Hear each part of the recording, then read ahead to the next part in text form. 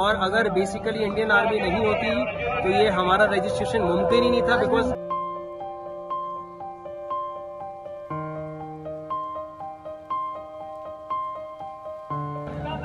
हमारा बिल्कुल last minute का प्रोग्राम था, ना हमने रजिस्ट्रेशन किया हुआ था, ना हमारा मेडिकल था, ना हमारा रजिस्ट्रेशन कार्ड था। हमने दो घंटे पहले यहाँ पे बालताल में जो है हमने मेडिकल करवाया। रजिस्ट्रेशन फॉर्म में पूरी इंडियन आर्मी ने हर संभव जो भी हो सकता था सारी मदद करी। और अगर बेसिकली इंडियन आर्मी नहीं होती तो ये हमारा रजिस्ट्रेशन मुमकिन ही नहीं था बिकॉज़ दो महीने तीन महीने पहले जो आके करवाना पड़ता है और हमारा दो घंटे के अंदर मेडिकल भी हो गया रजिस्ट्रेशन फॉर्म हो गया